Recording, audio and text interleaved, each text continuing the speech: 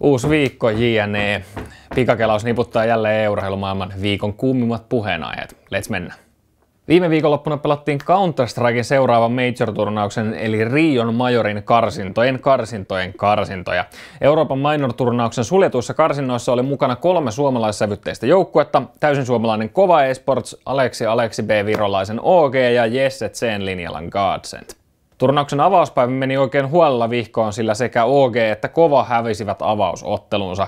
Arpaunni ei ollut suomalaisten puolella, sillä joukkueet kohtasivat heti ensimmäisellä häviäjän kaavion kierroksella ja Kovan turnaus päättyi neljään hävittyyn karttaan. OG sai sitten ratkaisuottelussa vastaansa kenetpä muutkaan kuin Godsendin ja sen linjalla heitti sitten sellaisen kärrimoodin päälle, että Godsend meni minoreille ja OG ei.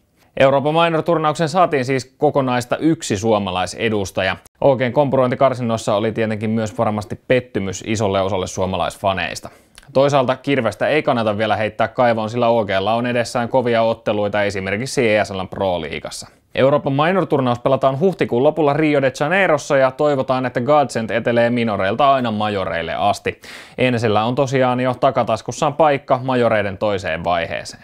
CS-liigoista puheen ollen Flashpointin pitäisi alkaa kolmen päivän päästä, eikä liiga ole vieläkään julkaissut kolmea viimeistä mukana olevaa joukkuetta. Suomalainen Havu esiintyi viime viikonloppuna liigan karsinnoissa Kaliforniassa vahvasti ja voitti oman lohkonsa, mutta sitten karsintojen ratkaisuottelussa tuli vastaan saksalainen Big ja sitten Havulla vähän lyrähti. Mikäli CS-toimittaja Jarek D.K. Lewisia on kuitenkin uskominen, niin Havu on sittenkin saamassa karsintaesitystensä ansiosta paikan Flashpoint Liigaan. Joukkue ilmoitti osallistuvansa Suomessa pelattaviin Blastin karsintoihin, mutta vetikin sitten ilmoittautumisensa pois pari päivää myöhemmin, joten saattaa olla, että joukkueen Kalifornian reissu venähtääkin. Liigassa on tietenkin myös mukana Otto, Otton Sihvon edustama Contact Gaming. Vähän käy sääliksi niitä Los Angelesin outdoor-gymeillä treenaavia paikallisia, jotka Olli Slovi Pitkänen saa näyttämään pelkällä läsnäolollaan aivan kukkakepeiltä. Vapise Schwarzenegger, Hartolan sheriffi, on kaupungissa. Blast Premier-turnaussarjan kevätkauden karsintoja pelataan toukokuussa Tampere-talossa ja mukana on kahdeksan pohjoismaista joukkuetta.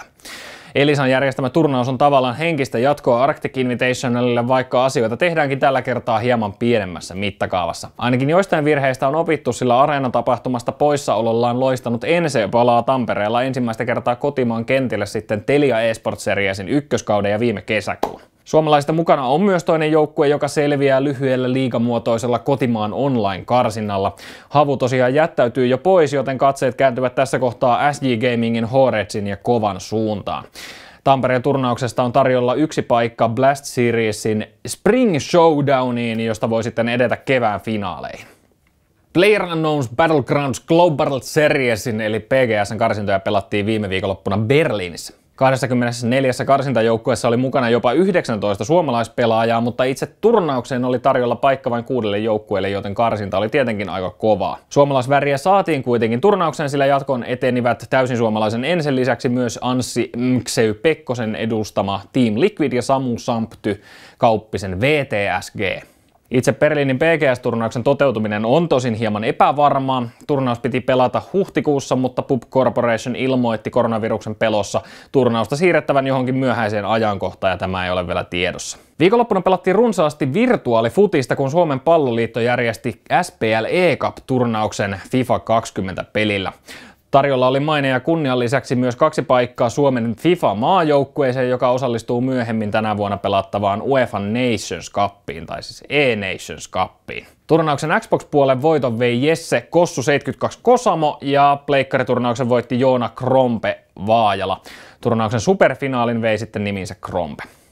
Futiksen parissa jatkettiin myös eilen eli maanantaina, kun Suomen e-jalkapallomaajoukkue pelasi E-Euro 2020-turnauksen online-karsintoja. Suomi on ensimmäisen karsintakierroksen jälkeen lohkossaan toisella sijalla kuudella pisteellä. Lohkon kärjessä puhtaalla pelillä jatkava Kreikka vaikuttaa nyt etenevän ehkä sitten lohkovoittoon ja suoraan jatkopaikkaan, joten e-huuhkajat taistelevat lähinnä lohkon kakkossijasta ja paikasta jatkokarsintaan.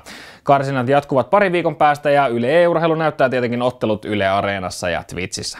Ja Detom Det tältä viikolta. Muistakaa taas hakata sitä supinappia, ettei vahingossakaan jää ensi viikon jakson näkemättä. Ensi kertaa.